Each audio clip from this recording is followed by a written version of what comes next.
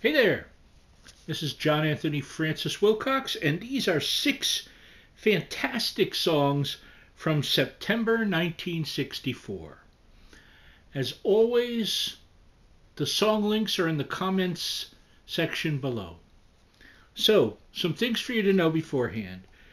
These are from this same week in 1964, the week of September the 16th, but also so you know, these are from the British charts. Slightly different, but only slightly. So, are you all set? Grab your cup of tea and give it a listen. Song number one, You Really Got Me by the Kinks. You know, how do you not know this song? If there's someone on earth that doesn't know this song, what's going on? Um, there are people that refer to it as the first metal riff. I don't know, but it could be. You know, I could see that. Um, Ray and Dave Davies and friends and company. The the battling Davies brothers bring us a really big song. This is a very significant song as far as rock and roll goes. It, it, it really is. So, and it is song number one.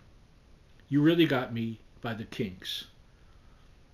Song number two is The Girl from Ipanema by Stan Getz and Joao Gilberto. Um, bit of a contrast from the Kinks.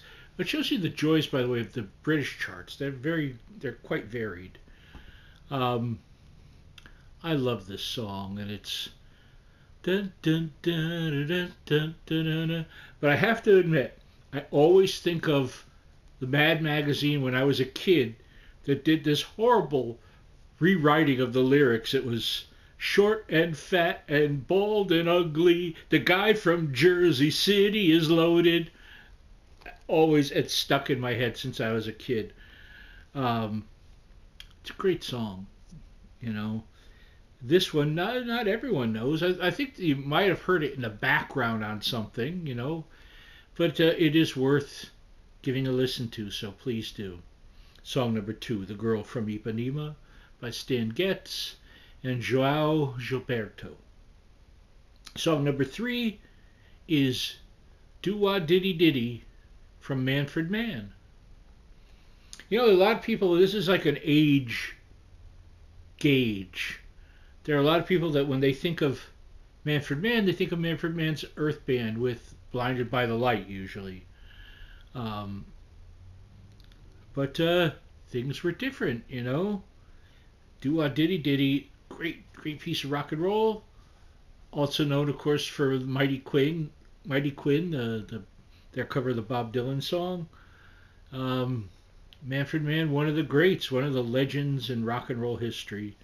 And Do Wah Diddy Diddy, uh, wonderful piece, you know. There she was, just a walking down the street singing Do Wah Diddy Diddy Dum Diddy Dum. Please, it's great. Song number three, Do Wah Diddy Diddy from Manfred Mann. Song number four, she's not there from the zombies. And um, a beautiful song it is. Isn't it uh, Colin Blunstone on vocals? Yes. And of course, a version of the zombies would morph into Argent because Rod Argent, the keyboard player, was in both, and he kind of carried on. And um, remember when I saw the zombies live, they also did a few Argent things, you know, kind of went back and forth. But uh, She's Not There is a, just a wonderful piece of pop. Really solid, super, super solid. Um, I love the percussion in it. And, and Argent's keyboards, of course. Song number four, She's Not There from The Zombies.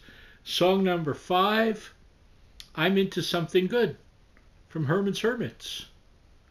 Uh, another band, they had like, you know, I remember listening to my brother's greatest hits package from them, and it was just packed, you know. Uh, wonderful stuff. Peter Noone's voice, very distinctive. You know, he was one of those that uh, kept his accent when he sang. No mistaking him for anyone else. And uh, Herman's Hermits, just a great pop rock band. Um, you know, during that British invasion time. And that is song number five. I'm into something good from Herman's Hermits. And we finish with song number six, a little number called A Hard Day's Night by I'm trying to think of the name of the band. Oh yeah, the Beatles. How could I have 1964 and not have the Beatles in it? The answer is you can't. By law, you're not allowed. So the interesting thing though is this particular week of September uh, the 16th through the you know the 22nd of 1964, this was the only Beatles song in the top 50. A rarity, I assure you. But uh, obviously, uh, a, a, Ringoism, Hard Day's Night. Uh, wonderful, it's mostly a John song with some Paul in there, and that great do do do do do do do do do do in there. Um, about a guy's working hard. He's working like a dog, and he he loves his woman, as he ought to. You know, the title of the wonderful, the first Beatle film, uh, a huge piece of cinematic history, and uh, again catching catching the lightning in a bottle that was Beatlemania.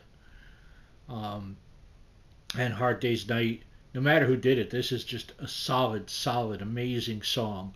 Great piece of, again, of pop rock, um, harmonies, everything about it. Energy. You know what? I'll use this word. It even has panache. If you listen, there's some panache around like the middle middle eight. Uh, when I'm home, please, mercy. What a great song. It is song number six, A Hard Day's Night by the Beatles, and these have been six fantastic songs from September 1964. Give them all a look, give them all a listen, let me know what you think. I love you. I'll see you the next time. Bye bye.